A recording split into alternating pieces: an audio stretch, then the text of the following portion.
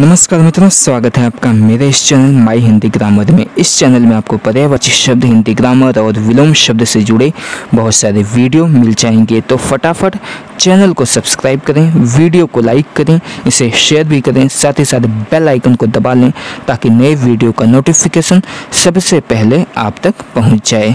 तो चलिए, आज हम आपको बताएँगे कि उपयोग का विलोम शब्द क्या होता है। मित्रों, कोई भी विलोम शब्द या फिर पर्यायवाची शब्द आप हमें कमेंट करके पूछ सकते हैं।